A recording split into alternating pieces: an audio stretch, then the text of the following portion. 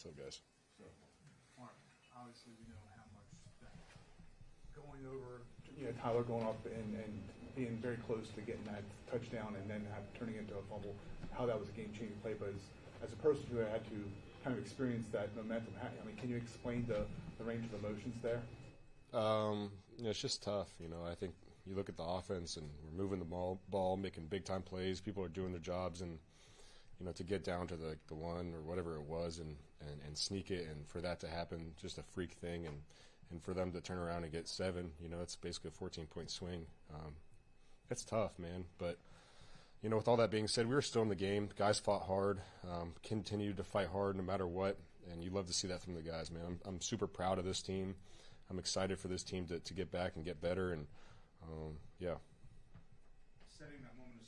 Feel like Tyler played a great game? And I mean, did you did you say anything?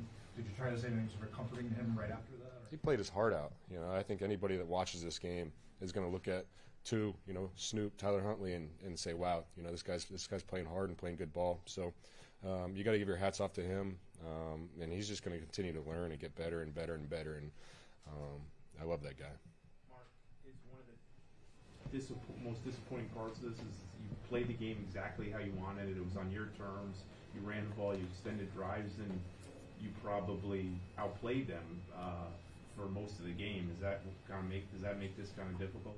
Yeah, it does. You know, I think that you know, like you said, it was there was it was efficient ball. You know, especially offensively, and then you look at our defense, the way they're playing. This is a scary team, and and um, yeah, that's what's so hard about you know this game and losing this game is, is that we don't have a, a chance to fight for another one, and because uh, anything could happen. We know the type of team that we have, the type of guys that we have, and um, that's tough. But I'm proud of the guys, proud of the way we fought, and, and I'm proud of the way the offense you know battled. You know, this is probably one of our better games. Mark, how, how difficult has this season been just for you, for the, for the team, with going through the adversity and you know coming here and coming up short, just short? Every year, you know, every year there's ups, there's downs. It's adversity. It's how you, it's how you react to that. And I think guys did a great job of staying together. The chemistry in this locker room is amazing. Um, we stick together, we stay together, and that's what it's all about, man. Having your brothers back, and um, super proud. Mark, not to take anything away from Tyler, because obviously out there, but you know there'll be some fans that say, you know, what would have happened if, if they did have Lamar in this game? What you know, do you ever have go through the what might have been?